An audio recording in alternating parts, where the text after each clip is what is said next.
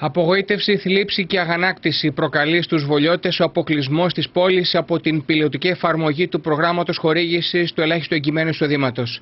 Το Υπουργείο Εργασίας, υποχωρώντας προφανώς τις πιέσεις του πολιτικού προσωπικού της Λάρισας, ενέταξε τη γειτονική πόλη στο πρόγραμμα και άφησε εκτός νυμφώνος το Βόλο που έχει το μεγαλύτερο ποσοστό ανεργίας πανελλαδικά. Σχεδόν 38% είναι το εφιαλτικό ποσοστό των ανέργων στην πόλη τη στιγμή που στη γειτονική Λάρισα μόλις που ξεπερνά το 20%.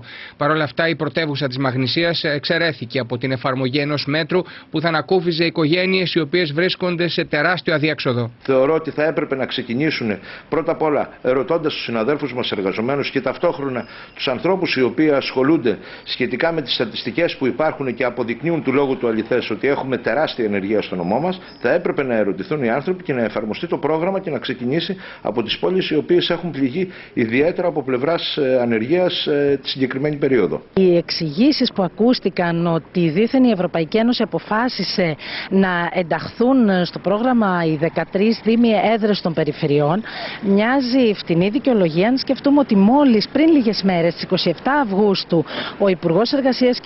Βρούτση στην Εθνική Συνδιάσκεψη της ΟΝΕΔ είχε πει ότι οι δήμοι που θα ενταχθούν θα είναι και μεγάλες πόλεις και νησιωτικοί και αγροτικοί, άρα δεν ετίθετο καθόλου τέτοιο θέμα.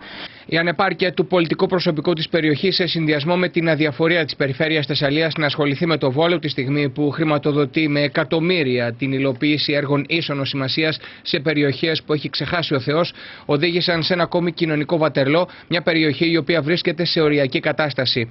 Υπενθυμίζεται ότι για το θέμα του ελάχιστου εγγυημένου εισοδήματος είχε γίνει παρέμβαση από τη Δημοτική Αρχή του Πάνου Σκοτεινιώτη, ο οποίος είχε καλέσει από τον Ιούνιο τους τοπικούς φορείς να βρίσκονται σε γρήγορση και να πιέσουν ώστε ο Βόλος να ενταχθεί στον εν λόγω σχεδιασμό. Δυστυχώς δεν έγιναν από κανέναν άλλον προσπάθειες. Φαίνεται ότι οι προτεραιότητες είναι διαφορετικές.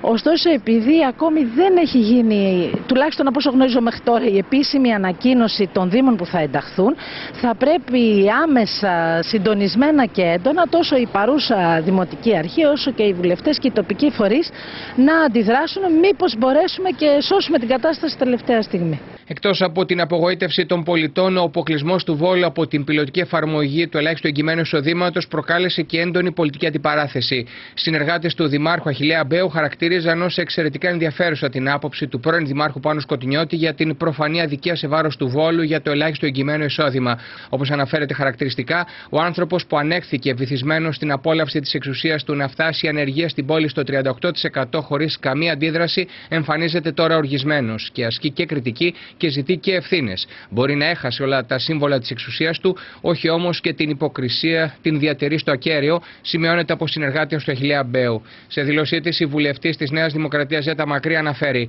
Αντιλαμβάνομαι το ενδιαφέρον, κατανοώ την πικρία, δικαιολογώ το προσωπικό πολιτικό συμφέρον. Ανεξάρτητα από τα κίνητρα όσων τοποθετήθηκαν για το ελάχιστο εγγυημένο εισόδημα, οφείλω να εξηγήσω ότι τα κοινοτικά κονδύλια μοιράζονται με τους όρους και τις προδιαγραφές που θέτει η Ευρωπαϊκή Ένωση. Για την προκρινόμενη αυτή τη στιγμή λύση που δεν αποτελεί οριστική απόφαση, εννοείται πως από την πλευρά μου υπάρχει αντίδραση. Απόδειξη των ισχυρισμών μου είναι η ομολογία από τον Πάνο Σκοτεινιώτη της αποτυχημένης προσπάθειας που και ο ίδιος κατέβαλε για το θέμα αυτό. Τελειώνοντας, επαναλαμβάνω ότι τα χρήματα που έχουν απομείνει σε αυτό το κοινοτικό πρόγραμμα θα δοθούν πιλωτικά με βάση κριτήρια που θα τεθούν αντικειμενικά. Η πλήρης εφαρμογή του θεσμού του ελάχιστου εγγυημένου εισοδήματος θα εφαρμοστεί σε όλη την επικράτεια, κατά συνέπεια και στο Δήμο Βόλου τον Ιούνιο του 2015, καταλήγει στη δήλωσή της η κυρία Μακρύ.